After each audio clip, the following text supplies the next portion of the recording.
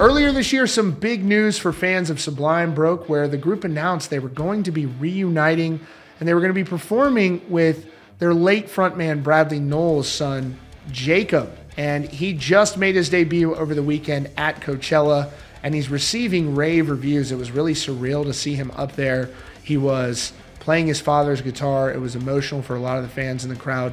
And he truly knocked it out of the park. He's got an amazing voice. And I think this is very big for Sublime. I think a lot of people are really excited about this all. This is an interview that he gave very recently to people about this experience.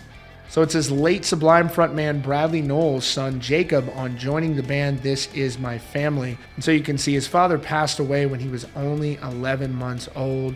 Uh, he's now 28, the same age as his father. When he took his final bow, Jakob's making his official debut as Sublime's new singer at Coachella. Of course, tragically, he passed away just two months before Sublime's breakthrough self titled record was released. It had songs like Santeria, Wrong Way, and What I Got, which broke into the top 40 and were all over MTV. They started a new group with guitarist Rome Ramirez. They called it Sublime with Rome back in 2009 falling somewhere between a tribute act and a distinct musical entity.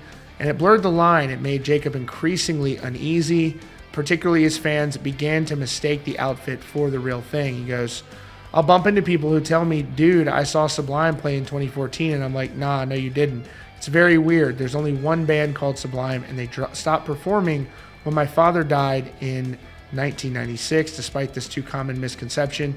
The surviving bandmates have long made it clear the only way they'd consider formally resurrecting Sublime was if Jakob agreed to be a part of it. Tentative talks of a reunion had been brewing for the better part of a year, but the turning point came when he dropped in at a Phoenix theater while on tour last fall.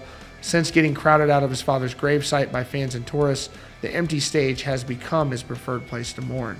And so they took the stage on Saturday. This was the lineup through Coachella. There was also a little bit of controversy involving Blur set, where you had no doubt you had Sublime there, so it's very much bringing in kind of a ska and reggae friendly crowd.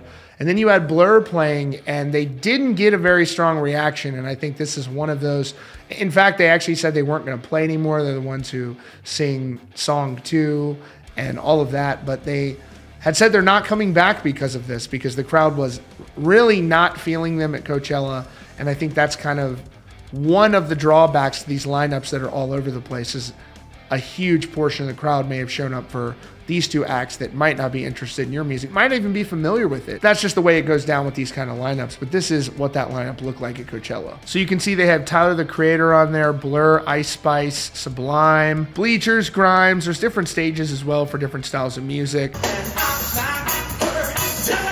Listen to that voice.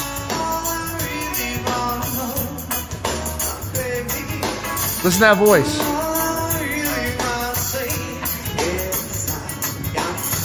So that's amazing to see him up there, and his voice sounds great. It's cool to see. This is officially reformed Sublime, and so they, as they explained, Sublime with Rome was different, but this is actually Sublime. Um, and so he's up there performing, honoring his father's legacy, and he made him proud for sure. Very cool stuff, and we'll see what else is to come with future dates with Sublime for sure. They say they're going to at least do a few dates a year, so I'm looking forward to that. That is your latest update here from Rockfeed. Be sure to hit that subscribe button for the latest news and updates about your favorite bands.